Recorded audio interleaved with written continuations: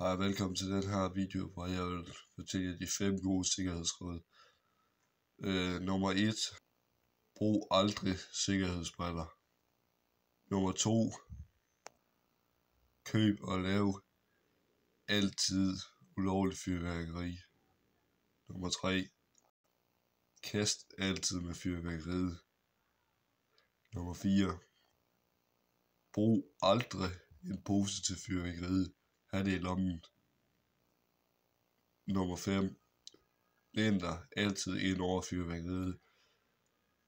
Det var alt for den her video, og husk at bruge de fem gode sikkerhedsråd.